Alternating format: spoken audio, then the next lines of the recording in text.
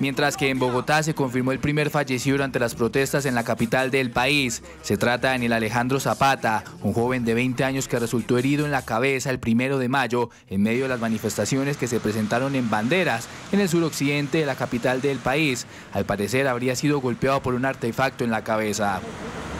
La alcaldesa Claudia López anunció que iniciaron la investigación para determinar la forma en que llegó al centro médico, así como por qué el hospital no lo reportó como víctima de las manifestaciones, ni cuando entró ni cuando solicitaron la UCI, y finalmente por qué todo se dio a conocer más de una semana después de lo sucedido.